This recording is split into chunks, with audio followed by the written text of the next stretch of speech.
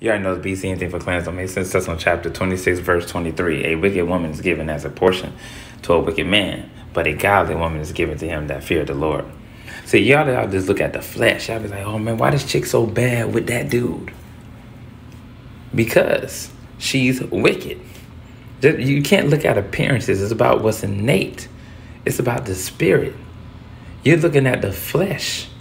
And when you look at the flesh, that's why they say the natural man know nothing of spiritual things. That's why a wicked woman is given to a person a wicked man. It's a reason why she with that dude.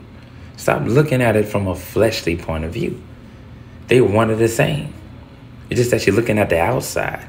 But a godly woman is given to him that fear the Lord. A man that follows the law, statutes, and commandments of the Lord.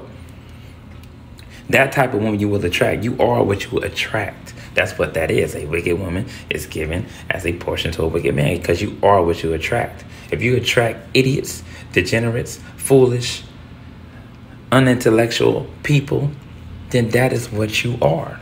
If you attract people who are spiritual, got a high frequency, high vibration, that seeks the Lord, picks up their cross daily, that's the kind of woman you will get. That's the kind of man you will get.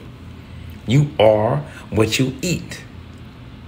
That's why the judge a man by his fruits.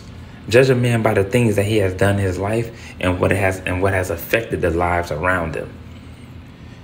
If if you have dealt with people that straight trash and everybody around them has turned out to be trash, everybody they pick is trash, but you want to date that person.